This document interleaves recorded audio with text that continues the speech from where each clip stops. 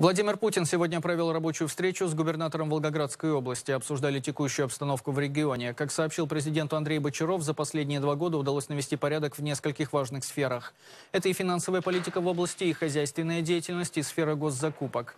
Отметил губернатор хорошие достижения в сельском хозяйстве. Например, развивается мясное животноводство. Достаточно серьезные результаты у нас достигнуты по промышленному производству.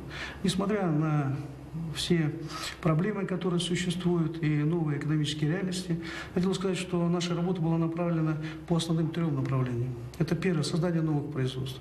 В 2015 году у нас создано 8 новых производств, где э, работают 900 дополнительных рабочих мест. Также губернатор доложил президенту, что в области уже активно готовятся к празднованию 75-летия победы в Сталинградской битве. Он пройдет в 2018 году, а текущий 16-й посвящен подвигу легендарного летчика, героя Советского Союза Алексея Петровича Моресьева.